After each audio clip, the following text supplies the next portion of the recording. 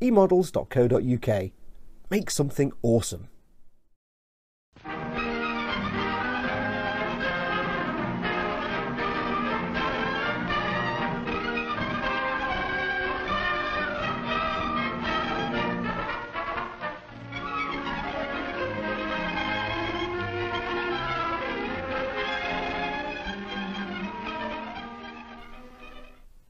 If you've painted a model using an airbrush, then you know all about pre-shading, the idea of putting down a dark colour to mark panel lines and recesses before you paint over the main colour of the model over the top, and it shows through as a shadow. This isn't airbrushed. This is all brush painting. How can you do pre-shading without an airbrush? Watch on. What will you need for this awesome effect? You will need quite a small list of things. You'll need a paint, and another paint.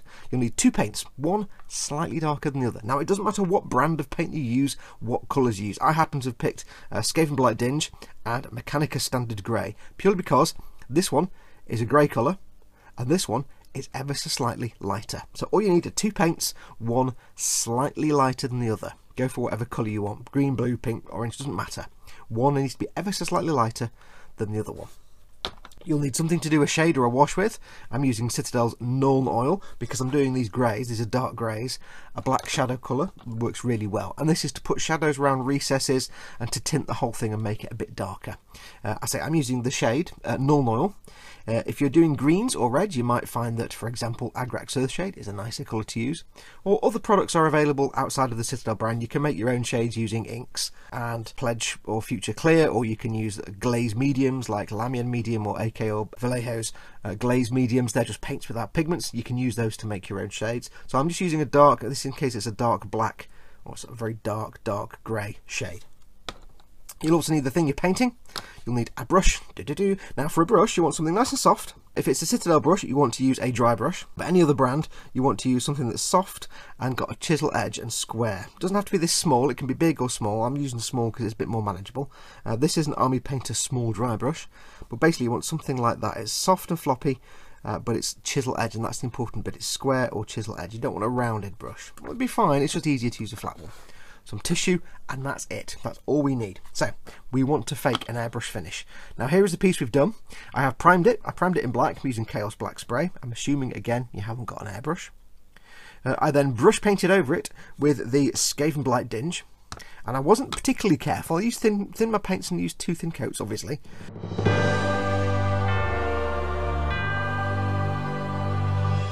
Uh, but it wasn't the best finish. You can see there it's not exactly a smooth finish. And then I gave it a really heaped on coat of Nuln Oil. And I used a big fat shade brush for that. I just slapped it on. What did I do, Ted? Slap it on. Yes, I slapped it on.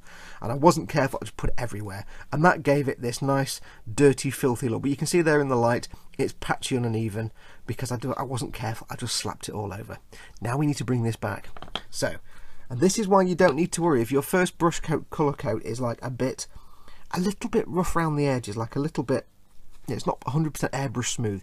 When you're brushing paint, you'll never get a smooth airbrush finish, but you can distract the viewer from spotting that and you can get a shaded airbrush effect. Now what I'm going to try and do here is reproduce a pre-shaded effect, which is where on a model you would paint your base colour, or you paint a primer colour, for example, like a white or something like that. You then use black around all the recesses and areas, like a black or dark colour, and you'd airbrush that on to make some shadows, and then you'd paint over the colour you wanted, like the dark grey, for example, lightly and build it up so that where there was less paint, you'd have the dark shadows where you painted the pre-shaded lines.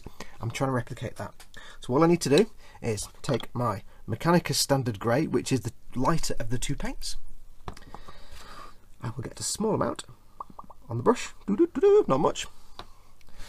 I'll take most of it off. Now you've seen me do dry brushing before, so you know how this works.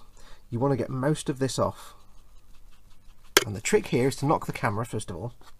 The trick here is you want really lots of the paint removed, and you're going to go in, but very, very lightly.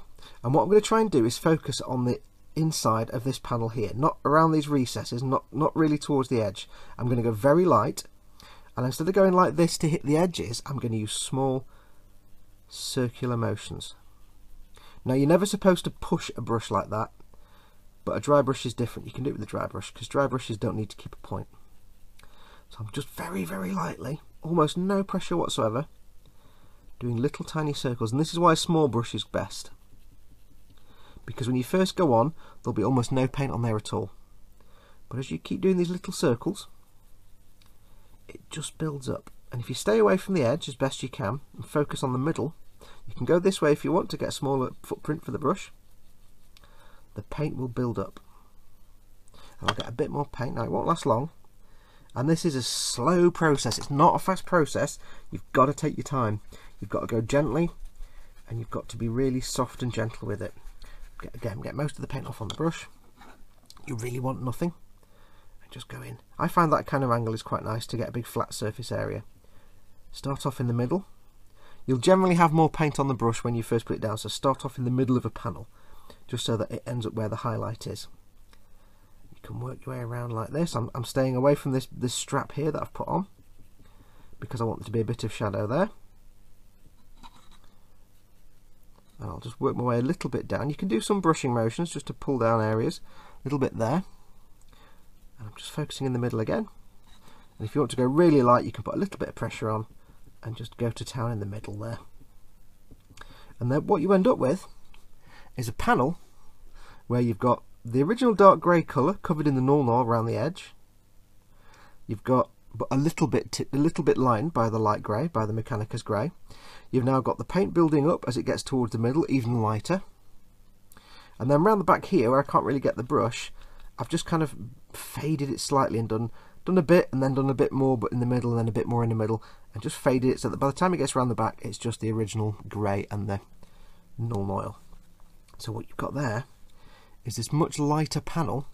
That one's been done before. Much lighter panel but it's got some shading around the edge. So I'll go and get the rest of this done and then I'll show you exactly what it'll look like when you've finished. And this is how you can fake an airbrush pre-shading finish without using an airbrush and with that done, your model looks a lot more interesting now. It looks a lot more almost airbrushed with that pre-shading look. Now you can take it further. Uh, what I'm going to do now, before I go ahead and paint all the other details like these leather straps, the box and the gold aquila and all the bits of metals and stuff, is I'm going to take up some Dawnstone, which is another colour, it's another light grey. I'm going to give it a good shake. I'm going to do exactly the so. I'm going to get the brush, tiny bit of paint on the brush. I'm going to get most of that off. Now this is going to be very, very subtle because what I want to do now is just focus on the middle of panels very, very lightly and just very slowly build it up. Similar as before, but I'm focusing in the middles and this is just for an extra layer of highlighting.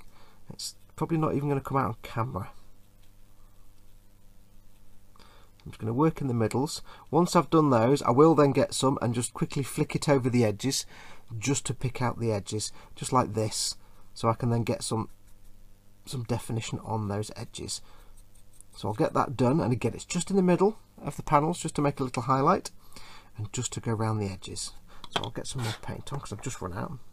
Now we are using very little paint here, getting most of it off, so this may take a little bit longer. You have to be more, more, more, more, more, more. You have to be more, more careful. Wow, I'm talking nonsense. You have to be more careful than you were before and go in little circular motions. Again, the trick is to go in at about 45 degrees like that. This is why I like the angled chisel brushes because I can go in and get them like that and just make my little circles. Happy little circles. I'll build this up slowly. It will take a while.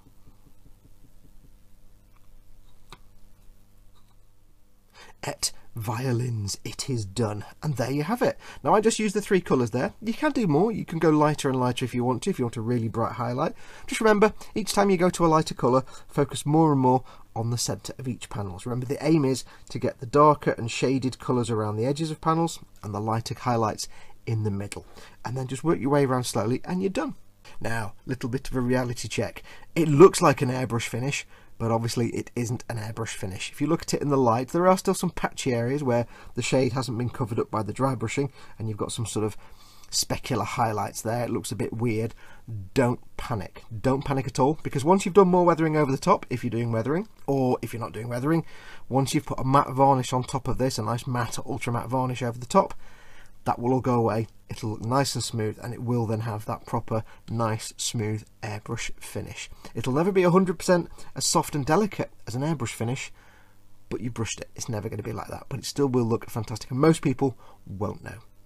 One other thing to keep in mind as well, while you are brush painting and you're not going to be using an airbrush, when you've got the first base colour down, like I did the uh, Skaven Blight Dinge, it might look a bit rubbish, especially when you put the shade or your, your wash over the top. It might look really rubbish again because it's patchy and it's a flat colour with a shade over the top and it looks a bit pants.